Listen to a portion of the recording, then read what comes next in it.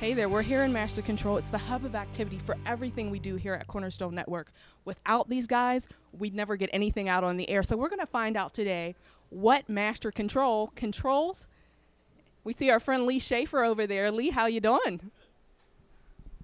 So can you tell us what is Master Control? It's pretty much the uh, last step before the air. Every programs go on the air. Um, we take all the programs um, that come in either by satellite, tape, or by file and convert them to the system we need.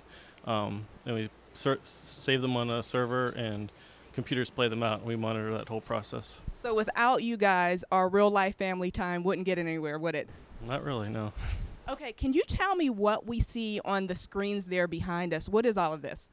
The big screen back there is so we can monitor everything. The top row is everything we're sending out, either to satellite or to TV stations. The second row down there is pretty much um, the return feed, so we can make sure it's coming back um, to see what's going on. And then the bottom row is pretty much just to see what we're doing down here, whether we're recording something or obviously the time of day, which is important in TV. So, how did you get into this field? Most people don't even know that master control exists. What was your interest in this?